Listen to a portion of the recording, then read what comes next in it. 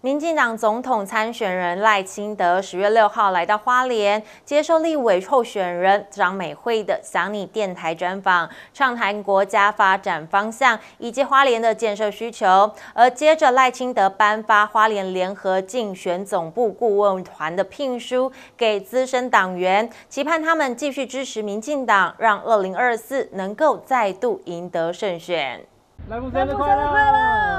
有什么新愿望吗？民进党总统参选人赖清德十月六号来到花莲接受立委参选人张美惠的“想你”电台专访，畅谈国家发展方向和花莲的建设需求。就是有关于花莲的这个交通，先来谈哦。对，我花莲的这个呃对外的交通，还有境内的交通，哦，都都是很积极要需要来争取、来推动、来改善的。那您在那一天有提到，呃，希望在花莲县境内的这个呃公车，就是捷运化的公共运输，哦，就是谈到有关于捷运化、公车捷运化这样的一个运输系统的建制哦。那我们呃很希望呃总统您可以来说明一下哈，您的看法跟想法。我有一个非常基本的理念，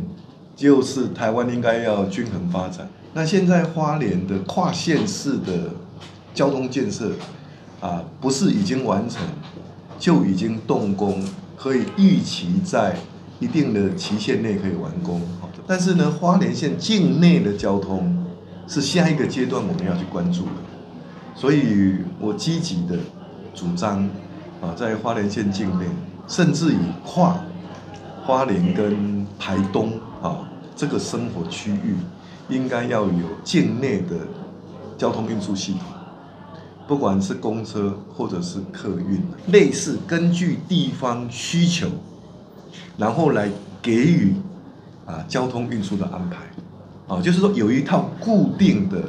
捷运化精神的境内的交通运输系统，再加上比较偏远地区符合需求所发展的配套的交通运输。那这样的话呢，才有办法解决花莲的问题。接着，赖清德颁发花莲联合竞选总部顾问团聘书给资深党员，期盼他们继续支持民进党，让二零二四能再度赢得胜选。台南市即摆大家拢讲是民主的胜利，我从这个时阵，议会跟他四个民进党党员啊，民进党的议员全部拢拢国民党，立委跟他一些民进党，县议员跟他一些。经过安尼，大家安尼认真拍拼，一遍搁一遍的服务，啊，得到台南市民的认同甲支持，所以民进党他伫台南有即个心态，台南会当安尼，花莲会当安尼，花莲会当安尼，都算讲较困难，咱就用加倍训练嘛，咱对咱感动花莲关的关民，